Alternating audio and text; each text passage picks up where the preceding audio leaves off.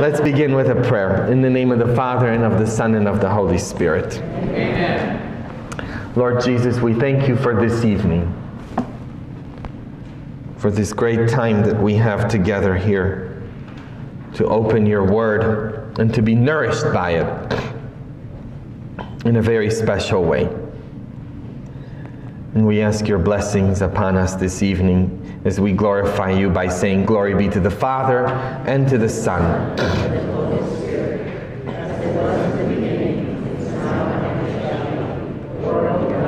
Amen. In the name of the Father, Son, Holy Spirit. Amen.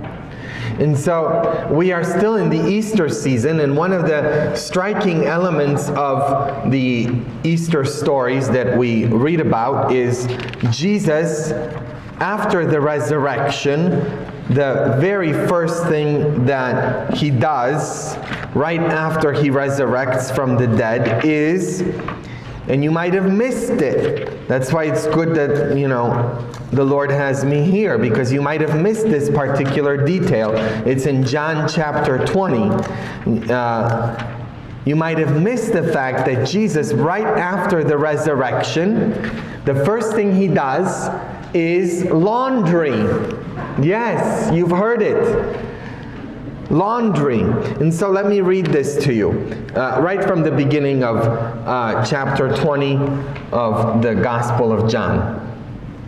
On the first day of the week, Mary of Magdala came to the tomb early in the morning while it was still dark and saw the stone removed from the tomb.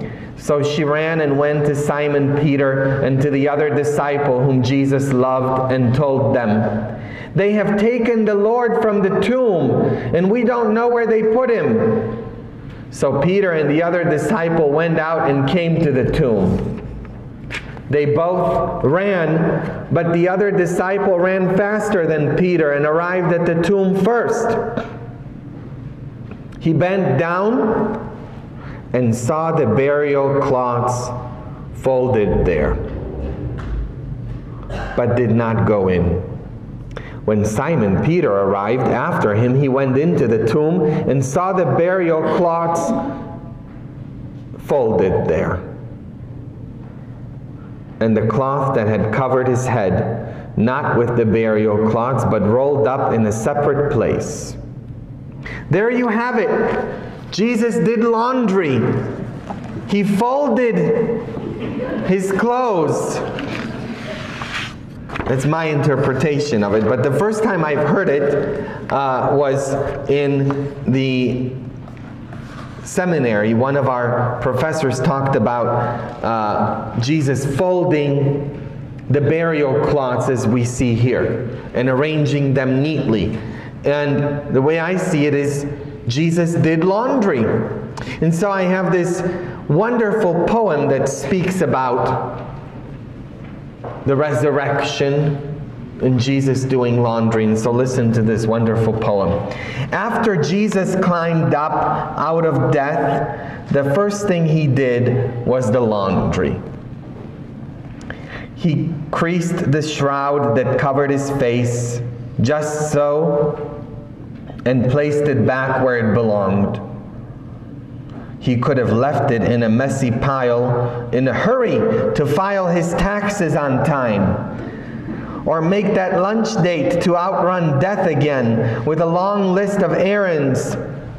But he took the time in the tomb to fold the laundry like he had eternity on his side.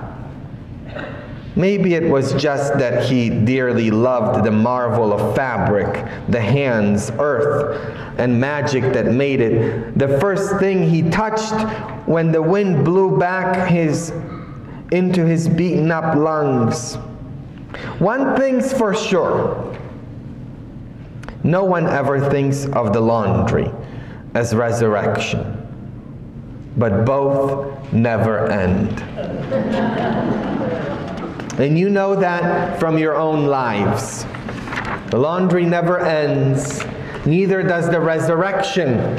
When we talk about the resurrection, we are not just talking about this one event from the life of Jesus. that he rose from the dead one time. We are talking about a way of living to live in the resurrection. Now, in the Roman Catholic Church, we have what we call the seven sacraments.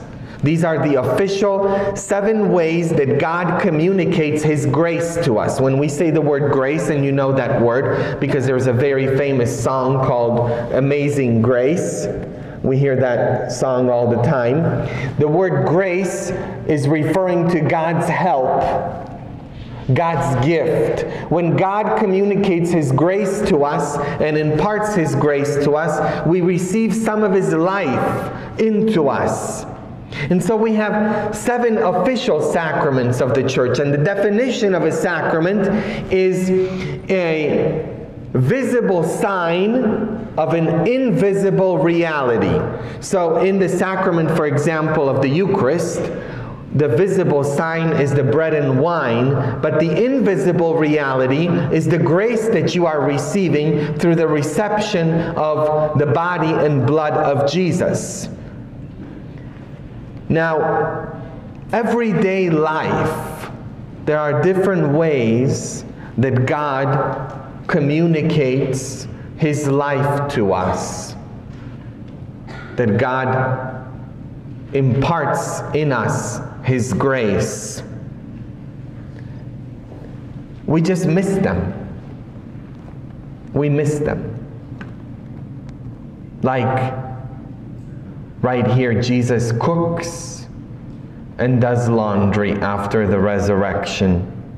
This is by far one of the most striking elements of the post resurrection stories that we find in John's Gospel. The first thing Jesus does is fold the laundry.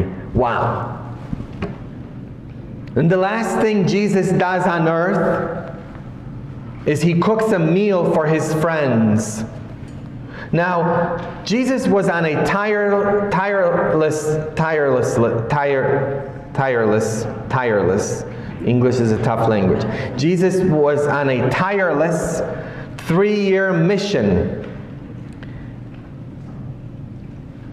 Yes, I said three years. You said, okay, well, he, he was alive for 33 years. Jesus was 33 when he died. But he only worked in public for three years. He was on a, only on a mission for three years.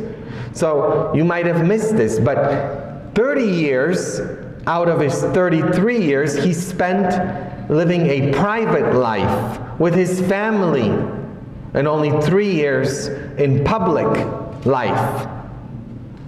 And so, during these three years of his frantic public ministry, working miracles, he preaching, and then here, then there was this final week of his earthly life in Jerusalem. You know what that was like. Uh, there's this urgent, immediate, and breathless feeling in that week. And then Jesus dies, and he lies in a quiet tomb, and then the resurrection. And one thing we might miss as we are celebrating and rejoicing in this Easter season, and we might overlook, is that after such a wild pace of Holy Week, filled with so many shocking and heartbreaking events, the resurrection, by comparison, is downright sedate. It's a calm experience. Jesus cooks and does laundry. Now, ask yourself this question Are we to live in Holy Week or are we to live in the resurrection? We are to be people of the resurrection, are we not? Not people of Holy Week. Hence, we are to live calm lives peace filled lives, not hurried lives. Jesus is no longer doing miracles for the masses after the resurrection. He's no longer confronting the powers that be. He's no longer teaching in synagogues, no longer leading a movement. In the resurrection, all we find is these few simple things.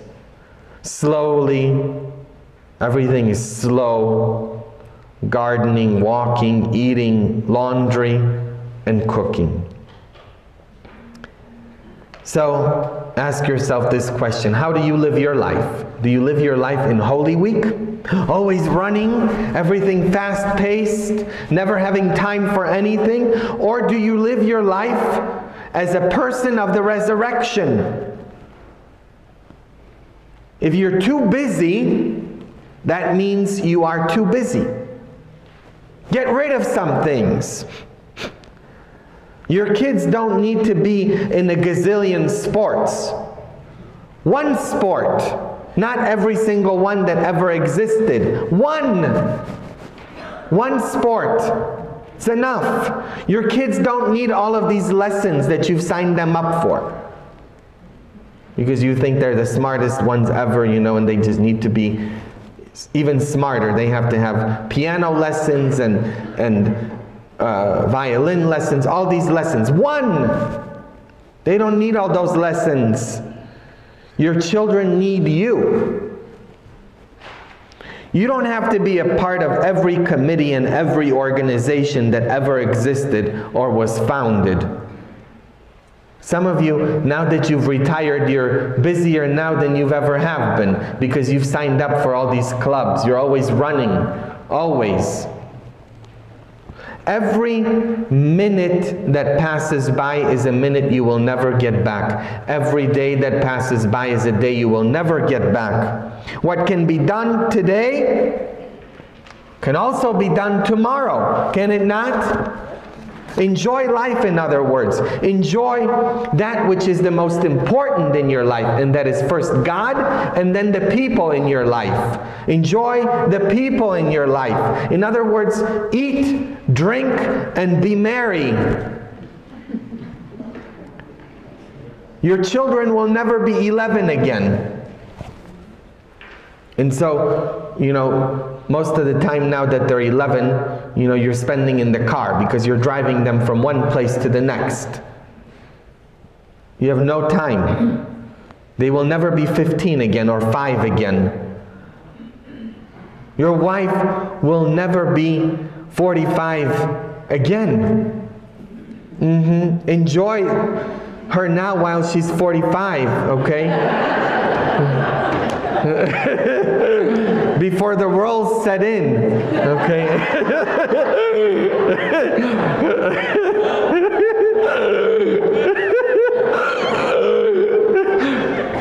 it's like, you know, the people who have money and have all this vacation time, but they're and they're, you know, they're they're 60 some years old, and they have the money and they have the vacation time but they won't go on the vacation because they have all this work to do. When you're 80, you won't be able to enjoy it as much because everything's going to ache. Your knees won't work as well, okay? To go down the cobblestones in, in Europe where you've always wanted to go. So do it. You don't even know if you're going to wake up tomorrow. And you're so worried. The Bible makes it very clear. The Bible says, why worry about tomorrow?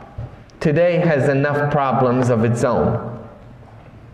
You have to live today. Because you don't even know if tomorrow will come. For many, it won't come. You have one chance to live this life. One chance. We don't believe in the reincarnation. You don't get to come back, okay? Not even as a rat, okay? Okay?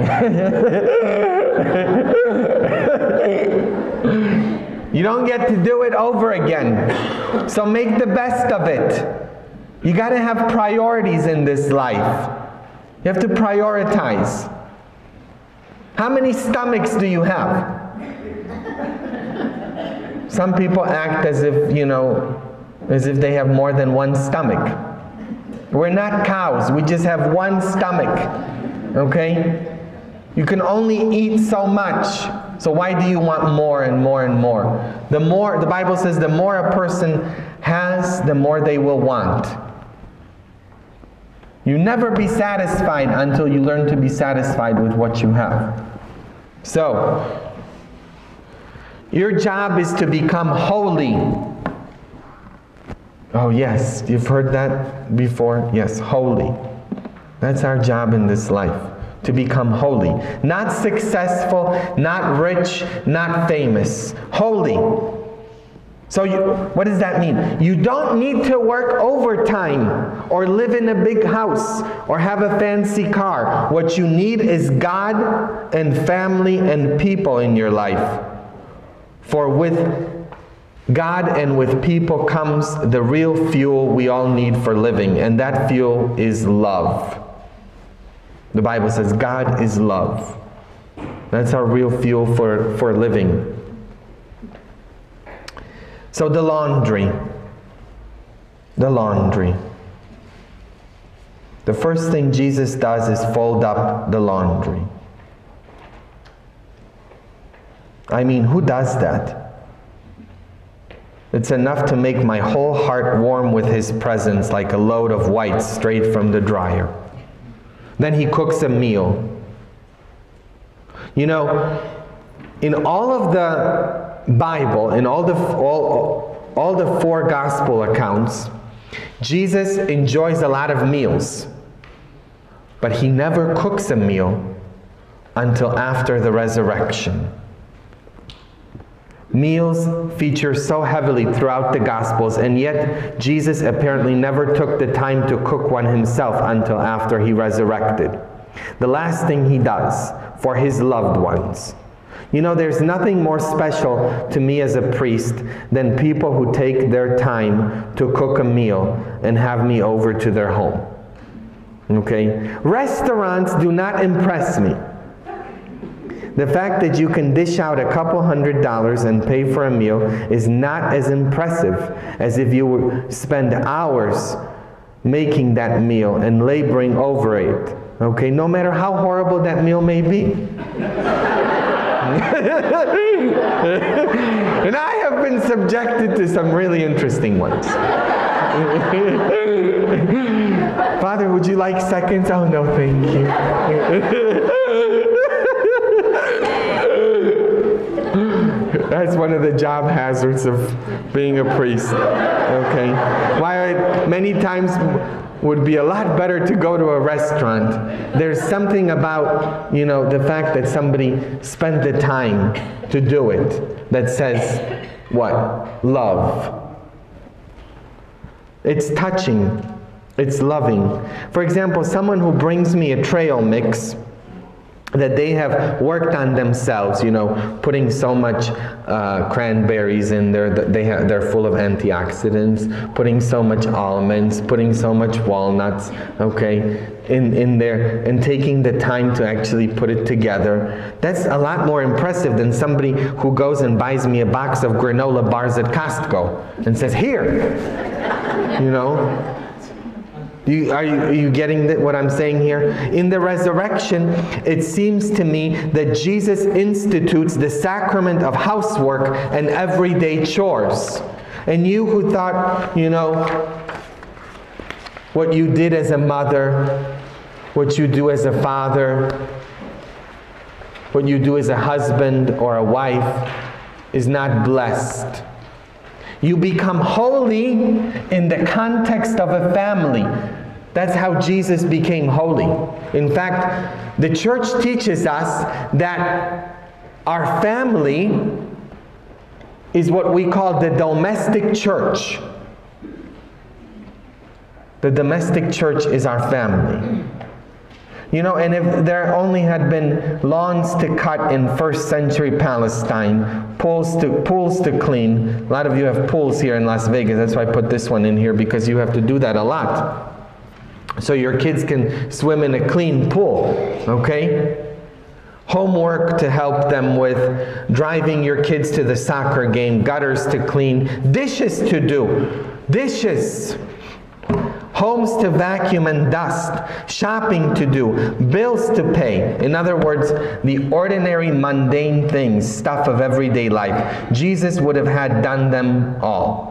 He would have had to do them all, and he would do it with great love. You see, you're not called to do great things in your life, okay?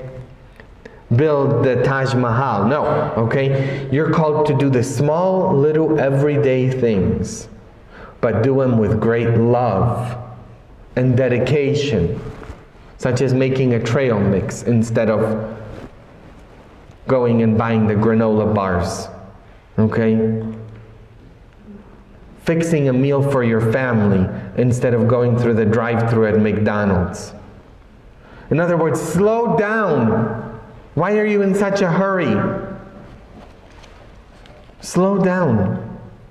It's almost as if Jesus is asking us to pay attention to the slow and the ordinary as the place where we are most likely to find resurrection, the sacrament, the grace being poured into our hearts, not in the hectic busyness of trying to change and transform the world or our churches or our lives.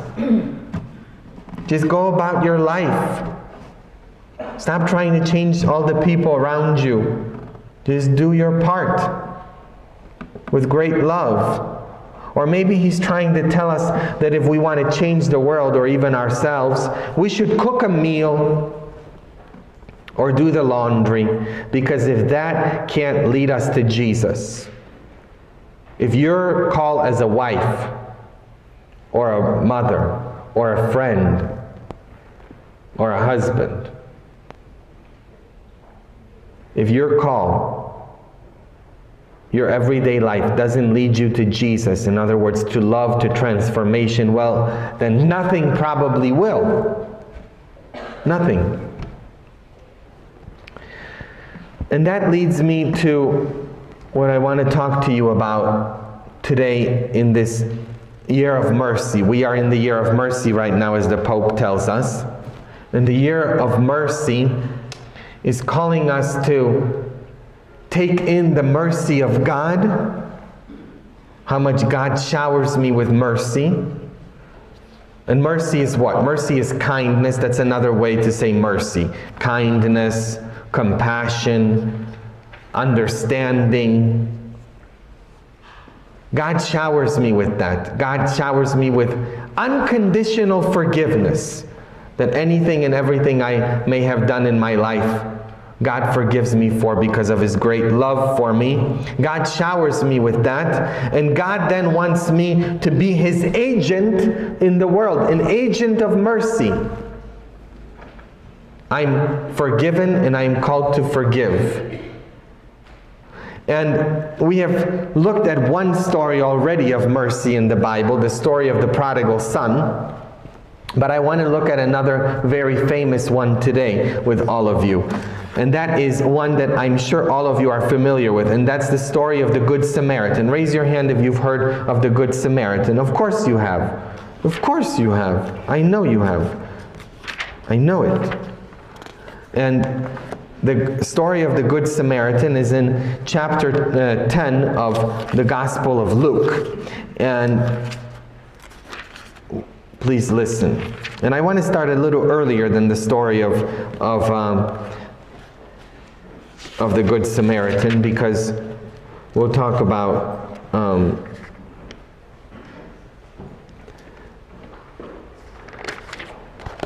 the great, greatest commandment, verse 25.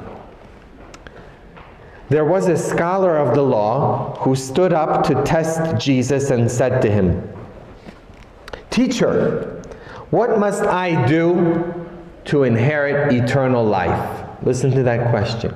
What must I do to inherit eternal life?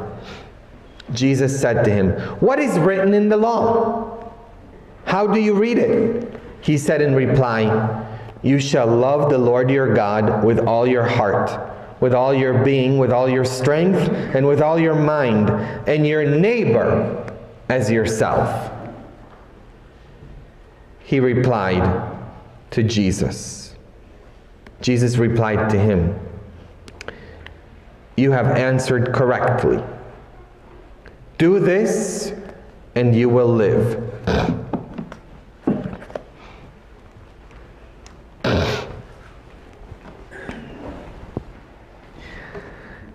But because he wished to justify himself, he said to Jesus, And who is my neighbor? Jesus replied, A man fell victim to robbers as he went down from Jerusalem to Jericho. They stripped and beat him and went off, leaving him half dead. A priest happened to be going down that road, but when he saw him, he passed by on the opposite side. Likewise, a Levite came to the place, and when he saw him, he passed by on the other side. But a Samaritan traveler who came upon him was moved with compassion at his sight. He approached the victim poured oil and wine over his wounds and bandaged them. Then he lifted him up on his own animal, took him to an inn, and cared for him. The next day he took out two silver coins and gave them to the innkeeper with the instruction Take care of him. If you spend more than I have given you, I shall repay you on my way back. Which of these three, in your opinion, was neighbor to the robber's victim? Jesus answered, the man answered, the one who treated him with mercy. Jesus said to him, Go and do likewise. Go and do likewise. Now, I don't think there's a more touching or more famous story in all of sacred scripture, isn't it, of, of mercy. This is such a heartwarming story. It's so tender. It says that we are all called to help the stranger in our midst. All of us are called to be agents of mercy. We're called to help God in the healing of the world. But this story is very misunderstood. It's often told as a self congratulatory story about people like us, Christians, who think we know the right answer. Which of these three do you think was a neighbor to the man who was robbed? Answer the one who showed him mercy. And we think we have gotten this answer so well that we embrace the Good Samaritan and we, as we call him, as if he was one of us. You know, we name hospitals after him, charitable organizations after him. We think he was one of us. We have embraced him, and yet we forget that he was the enemy. He was the foe, the adversary. He was a Samaritan. He belonged to the other side. Now, shortly before Jesus tells this story of the Good Samaritan, uh, Luke tells us that Jesus' disciples have gone to a village, a Samaritan village, and they have been refused lodging. They are refused hospitality. And they come back to Jesus and they inform him of what happened. And they tell him, Jesus, we have to keep walking because the Samaritans have refused to give us lodging in their village. And they tell him, call down fire from heaven. They ask Jesus and they say, burn this village down. Burn it down. Why? Because Jews in first century Palestine did not like Samaritans any better than Samaritans like Jews. They were bitter enemies. They hated each other. And you know, they had so much in common.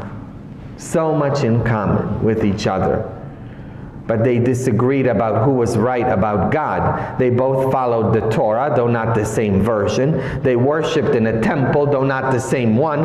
They both claimed to be God's chosen people, but neither one of them would admit that God maybe had more than one chosen people. They had a hard time. Each group viewed the other as a bunch of unclean people in the sight of God. A Samaritan did not want a Jew sleeping in his bed any more than a Jew would want a Samaritan to sleep in his bed. So, it's unlikely that Jesus was surprised by the disciples' anger. But then Jesus wants to tell us the same thing he told them. And that is, get over yourself. That's not how you deal with rejection. That's not how you deal with when people hurt you, when they reject you, when they betray you, when they turn you away. You don't do that. That's why Jesus teaches us what? When people hit you on one cheek, then when they strike you on one cheek, turn the other cheek. That's Christianity. You are to love your enemies. You are to be different. You are to pray for those who persecute you. If you love those, Jesus says, who love you, what's so different about you? Even the pagans do that. You're my followers. And you are to be known by your love, and love is mercy, love is kindness. So, the way Jesus dealt with this scenario is by inventing a story and, and turning the Samaritan, this enemy, into a hero, a neighbor, the one who shows mercy. So he reverses the circumstances on the disciples, doesn't he? He puts this he puts puts the Samaritan in the Jewish territory where it might have been hard for him to find a bed for the night and he made the Samaritan the good guy, the foreigner who saved the life of a man whose own people let him down. Didn't you see that? The priest passes him by, the Levite passes him by, and the Samaritan is the one who comes to his rescue, to his aid, to help him. So, Maybe it's wishful thinking on Jesus' part, or maybe he wants to remind all of us, his followers, we call ourselves his followers, that you never really know what's inside of a person. You think you know, but you never know. You don't know what's inside of a person as much as you think you may know. And based on our prejudiceness, because of our history as people, we have been imbued with all sorts of prejudices to look at people and to judge them and to think we already know them because of where they come from, what they look like, who they are or who we think they are. But you don't know. You never really know. And people are capable of surprising us every day. That's why Jesus says, Judge not, lest ye be judged. Don't judge another person. A single act of kindness, in other words, has the power to call a whole history of againstness into question. So, by doing this, what did Jesus do to the disciples as he wants to do to all of us tonight? He's putting the word good because the Bible here calls this story the story of the Good Samaritan. And who was this written for? For first century Jews who, when they heard the word Samaritan, they probably heard what? ISIS, like you might be hearing today. Muslims, terrorists. Should I go on and, you know, whatever? So Jesus is putting the word good and Samaritan in his hearer's mind and hopefully in their hearts so that when they hear the word Samaritan, they have good with it. Oh, it's revolutionary, isn't it? You see how powerful this story is if you really take in what Jesus is trying to say here? For the first time in his in their lives, Jesus is putting the word good and Samaritan into their minds. Because why? Because Jesus knows that sometimes you have to begin to tell a different kind of story before a different kind of future can unfold. Look at it this way. If Jesus had been a Samaritan, he would have told probably a parable of the good Jew. But since Jesus is a Jew, he tells the story of the good Samaritan. So imagine the hero here in this story and the, is the last person in the world you would want to call good, or the last person in the world you would want to give you CPR. And now you have to put that in your mind.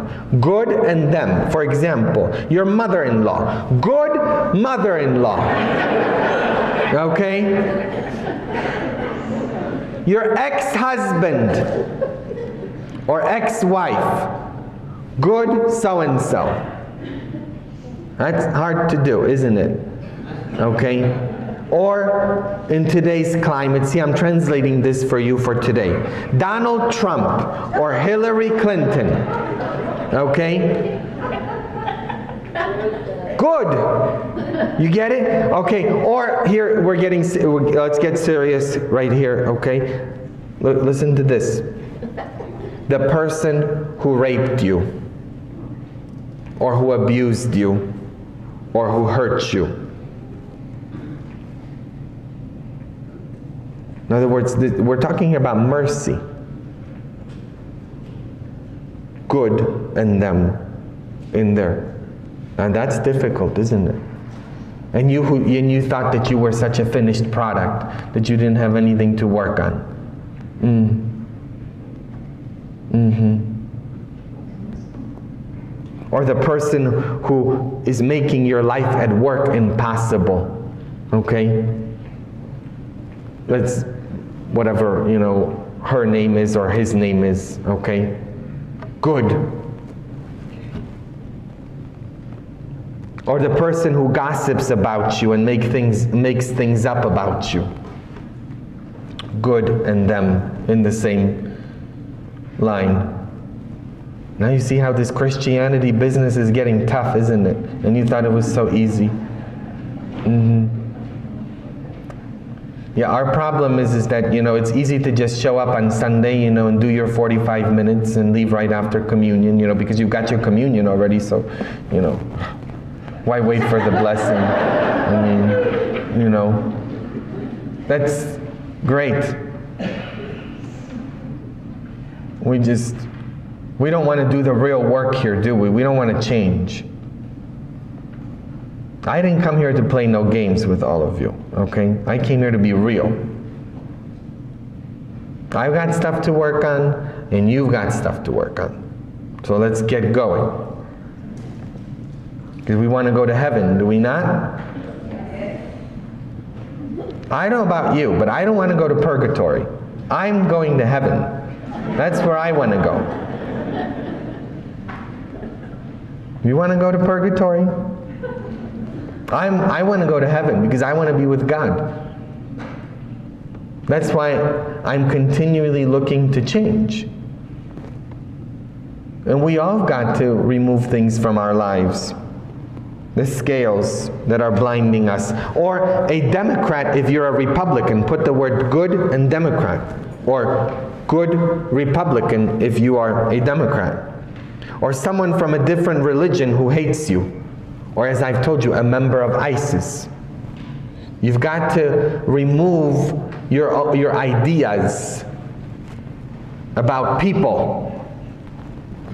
Think of the Middle East today, for example, since this is where this story took place.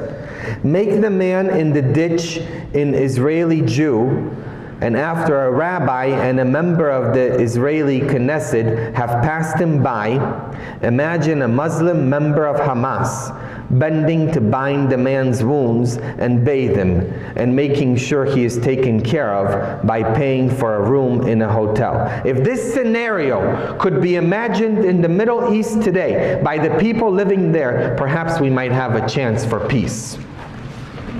You know, one of the greatest things that has happened to me as a, during my six years as a priest, and I'm coming upon my six years this month, and I'm so grateful to the Lord, but it was, I took a trip uh, in my last parish with a, a choir. It was the North Coast Chorale, and we went uh, to Europe in this choir, this community choir, and I accompanied them. And first we went to Poland. And they had a sister choir in Malsch, Germany. Malsch, Germany, which is right on the French border, uh, near, um, not too far from Frankfurt in Germany. And I grew up hearing about how terrible the Germans were in fact, when you say the word in Polish, Niemiec, that was synonymous with something evil. One of the worst things you could call somebody would be calling them a German, you know. If you call, that's like calling somebody something really bad. I grew up in that in my head. That was ingrained in me from the time I was small. And here the, this choir was telling me that we were going to go to the town, and I had agreed to that. And not only that, we were going, because they're a sister choir, we were going to be welcomed into the homes of these German people, and I was going to have to sleep in their home mm-hmm, and eat with them. I had this, you know, I, I was told all these things, you know, that they're very cold people, you know, they, they're this, they're that, you know, they're nobody you ever would want to be around. And there when we arrived, they were then, they were just like me and you. They were just like us. We shared around, you know, one of the great things is uh, when I did the opening prayer there, they asked me to do the opening prayer. And uh, of course, everybody had a beer a big beer. It was very good. And one of the first things I did is I raised it and I said, Nazdrovie. And all the Germans, that's Polish, you know, they all went, Nazdrovie. The whole history of againstness that was imbued in me melted away because of sitting down, enjoying a meal, having a beer, laughing, and realizing that they are as much people as me. How our world would change if we'd only learn to do that. So I don't know where this story needs to change for you. You know, the, the people who have hurt you in your life are people just like you. And if they knew what they had done to you, they wouldn't have done it. If they knew what they were doing to you, they would have never done it.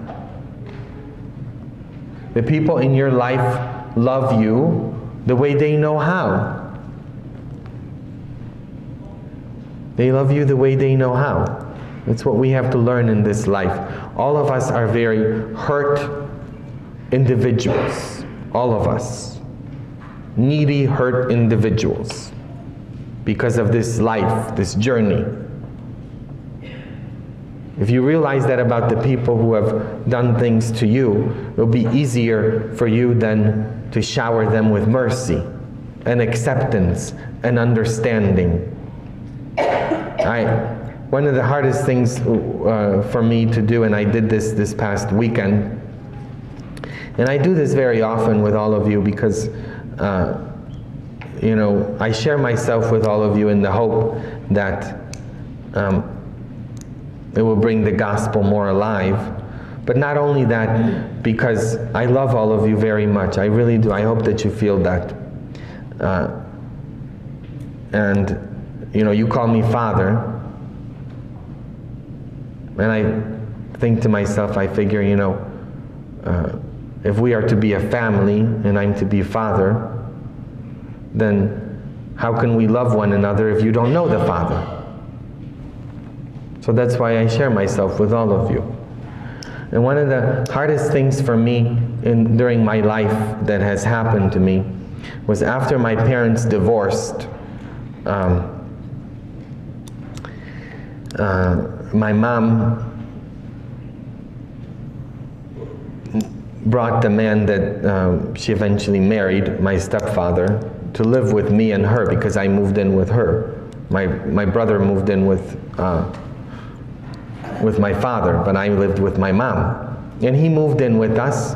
And I was 14 years old at the time. And if you know anything about 14 year olds, it's a very tough age. And so I was very rebellious. There was a lot of stuff that happened. You know, things were said, horrible things were said. I was not very kind to him because I, I thought he was coming in to break up my family. I wanted my family back. You know, I wanted my parents to be back together. I wanted for me and my brother to live again together. You know, I wanted us to be together. I didn't want this. And so I took it out on him. And I recognized that. You know, and I, I feel very bad about that. And I've apologized to him over and over again for my behavior. Um, but during that time, the tension was so big that he told my mother, he says, you know, um, it's either him, meaning me, or I, he says. You know, one of us has to go. We can't live here together. And so my mom came to me and she said, You're going to have to move in with your father.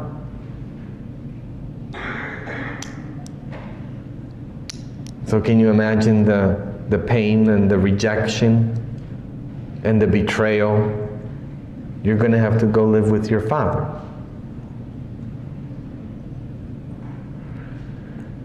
And um, so I did move in with my father, and, uh, and, I had these immense feelings of uh, resentment toward her for a very long time. And I was in the seminary, and I said, Lord, you know, I, I have these negative feelings.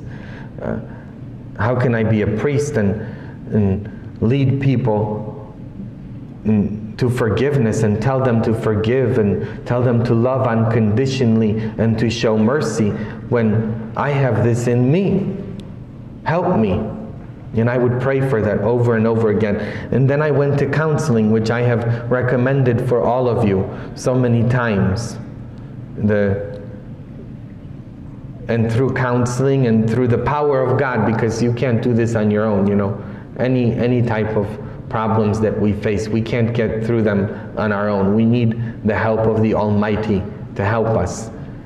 There came a, a point through God's grace, which is that special gift of God, that I realized that my mother loved me the way she knew how to love me. She offered me what she knew how to offer me from her own life experience. In other words, the people in our life who have hurt us, as Jesus says from the cross, Father, forgive them for they know not what they do. Whoever's hurt you in your life, if they knew what they were doing, they wouldn't have done it. You have to pray for the strength to be moved to great compassion and understanding and mercy towards them.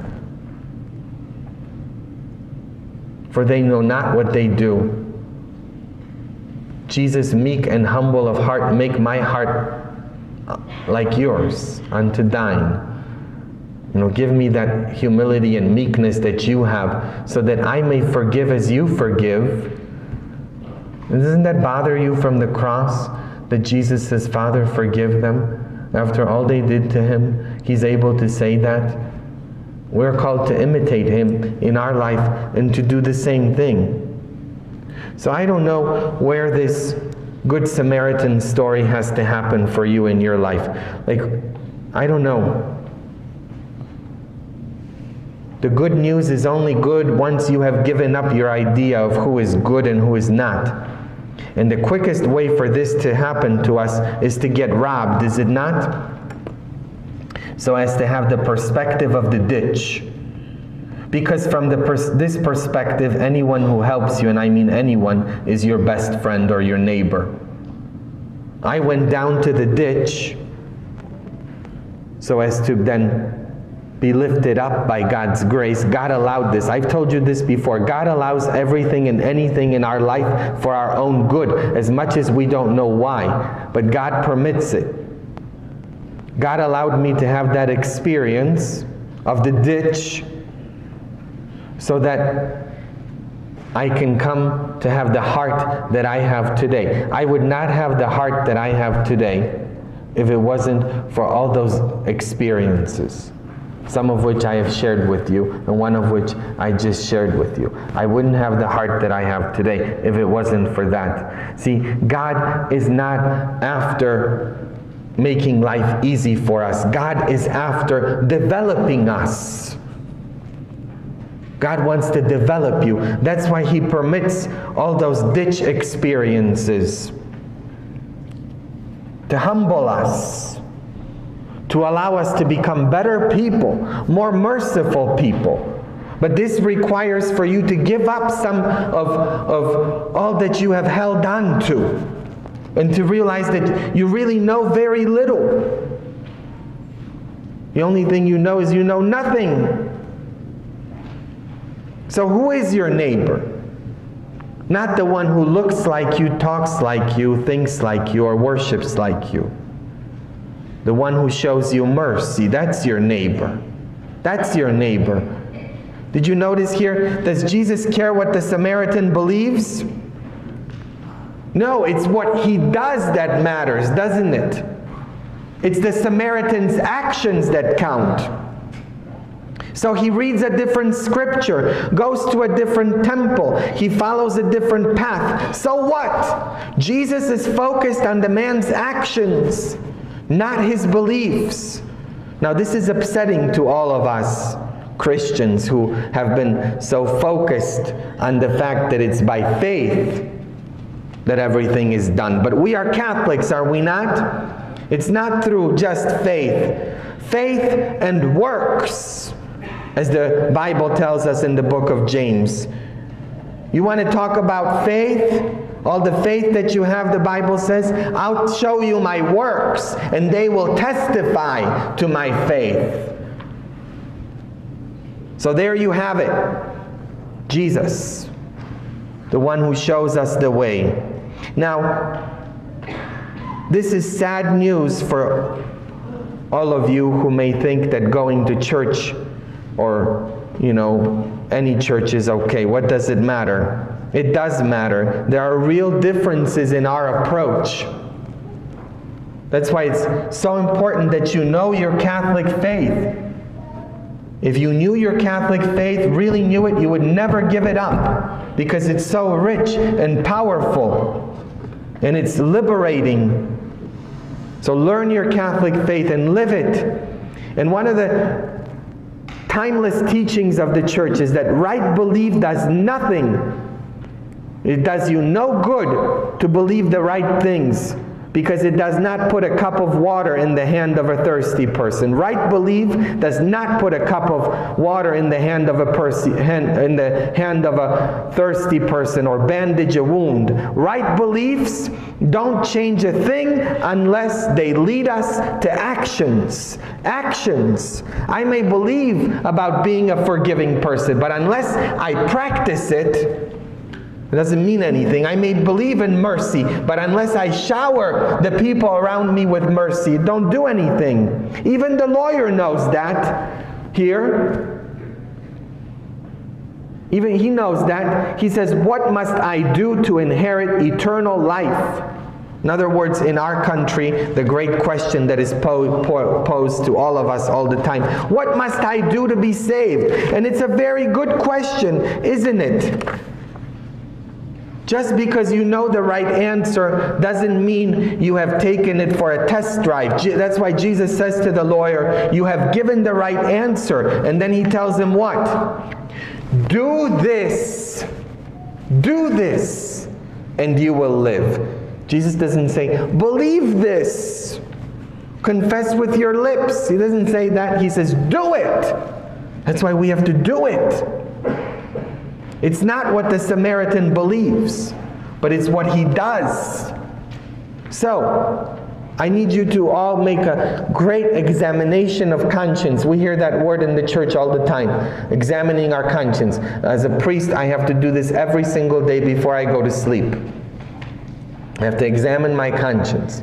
Look at all those things in me every single day that are not good, that are not allowing me to follow the Lord Jesus as He wants me to. So, for example, you believe in being generous. All of you believe in being generous. And yet you have amassed this great wealth and you don't share it. Mm-hmm.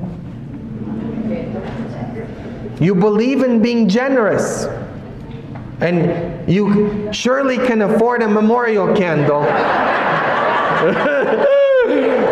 that one was coming, didn't you?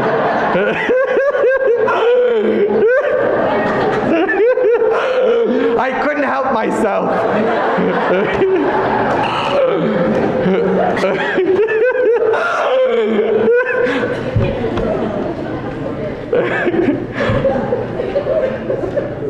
so you believe in loving your country. You believe in loving your country. And yet, you say, you know, I love my country, and yet you believe that, and you say, I believe it. I love my country. It's part of me. And yet you don't vote. Do you really love your country? You believe in good health, and yet you don't exercise and eat right. But I believe in good health. What does it do for you? The fact that you believe it. What has it done for you? You got diabetes. Where, where's your actions? You believe in putting your kids first and your family first, and yet you put your work first. But you believe that. You, you say that. I would venture to say all of us, you know. I mean, most, never, I haven't talked to a, a person that believes in putting their work first. It's always, you know, my family's first, and yet I work 14 hours a day. How many plates of food can you eat? You know? I, I have, I've been all over the world in, in places where people live, you know, whole families live in two rooms or one room, you know. And yet you, you really need this huge house to run around in, and that's why you need all of, I mean, what do you do? Chase yourself around there? Mm. Thank, you, you know. You say you believe in the power of counseling, yet you are unwilling to get any of your issues straightened out. But you say, oh, it's okay for others to do it. It's great. But yet you won't do it. Yeah, now I'm hitting a nerve. I can see that. Mm-hmm. So you believe in the power of prayer, and yet you don't pray every day. You know, you believe that stealing is wrong, and yet you waste food. You throw it out. You know what Pope Francis said wasting food is stealing from the poor. That doesn't mean, you know, you overeat, but you can, what you have on your plate, you can also eat it tomorrow too. We have refrigerators in this country, you know. You don't have to finish it, you could eat it tomorrow. See? Now I've really hit a nerve. Because we're all guilty of that, are we not? How much food we waste, even when we have our own functions here at St. Joseph, husband of Mary. It's amazing. Go by the garbage can, it's unbelievable. You know? We believe in the power of the Bible, and yet, you know, so you, you say, I believe in the power of the Bible, yet you don't read it. Now I'm really hitting a nerve. We believe in the power of the Mass. Oh, it's absolutely the best thing ever. And yet, you know, I just go once a week. Well, I really could go more than once a week if I really put my mind to it. See, right answers aren't worth the breath it takes to say them unless they take on flesh at some point, leading the person who knows them to live the right kind of life. Just because you know the right things don't mean a thing. You got to put it into action. So, for example, you know, I went to school for a very long time. For a very long time. So that I could learn all the right answers and then I could become known for knowing the right answers, okay? That was supposed to be real funny. That's why. you know? And I learned the Bible in Hebrew and Greek, how to read it in Hebrew and Greek. I learned how to tell the difference between the early letters of Paul and the later letters of Paul. I learned how to explain the gifts of the Holy Spirit, the dual nature of Christ, the hypostatic union, okay, and all that. Uh, I learned how to uh, attempt to explain, you know, how the three persons of the Holy Trinity work and all that. So I, I, how they relate to one another. I learned all those things. And sometimes I would go down to the basement of the uh, seminary library and I would study there for hours and I would be getting drunk on the fume. I would be getting drunk on the fumes of the highlighter because I would highlight away, you know, because I was so into what I was uh, studying. And then whatever I was studying, all of a sudden, uh, there would be this moment of grace. You know how that is in your own life, where I would get it all of a sudden, and I would then go at the top of my lungs and I would yell inside of me of, of, about whatever it is that I got. I finally got it! I get this thing! I was so excited. I get it! I get it! I finally get it! And then I would close my books and I would go upstairs and I would expect everything to be different because of my newly found enlightenment that I found in the library. And yet, my classmates looked as stressed as ever. My enlightenment did nothing for them. Okay? They were as depressed about the food we had to eat as, as ever. In other words, this is what Jesus says here. You have given the right answers. Do this. Do this, and you will live. Do this, and you will live. Do it, and you will live. You know, it was not until this person who got robbed in this particular story is lying in a clean bed with his bill paid that he had time to reverse the answer that he had in his head about who was good and who was bad. A Samaritan, who would have thought? A Samaritan.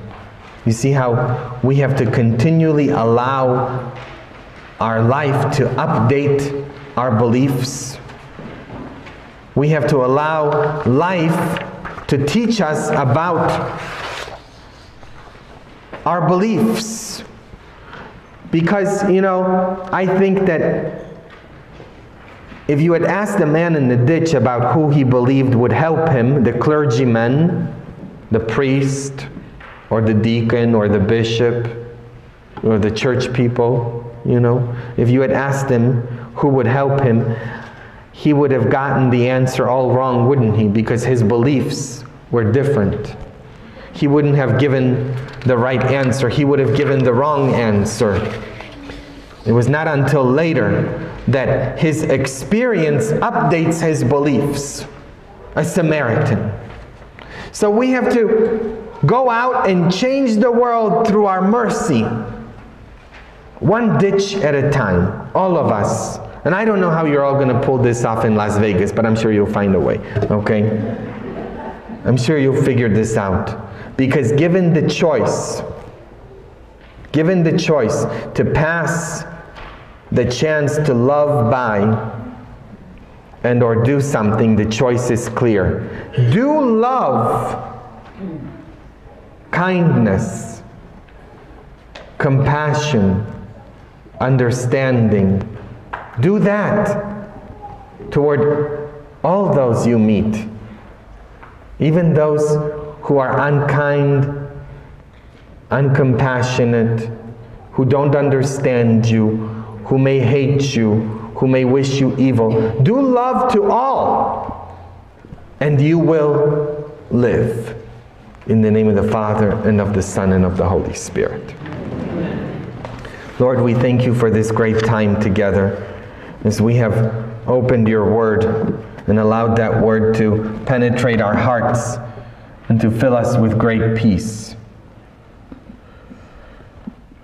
We ask you to come upon us with the gift of your Holy Spirit this evening so that we may better serve you, become better at serving you,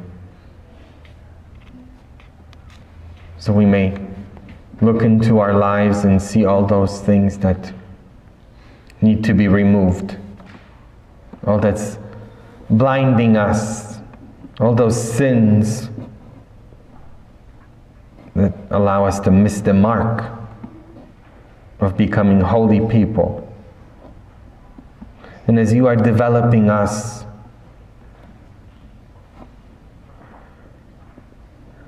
we know that you are developing us for our own good. And so all that we have heard tonight we take in and we pray, glorifying you always. Glory be to the Father and to the Son. As it was in the beginning, is now, and ever shall be, world without end. Amen. In the name of the Father, and of the Son, and of the Holy Spirit. Amen. The Lord be with you. And may Almighty God bless you, the Father, and the Son, and the Holy Spirit. And did you notice that yes, in yesterday's gospel, Jesus, when he came back, he raised his hand over the people to bless them? That's my greatest privilege is always to raise my hand over all of you and to bless you. As Jesus loves you, I hope that you know that I love you very much as well. And I thank you for being here this evening. And it really it pains me to have to tell you that next week we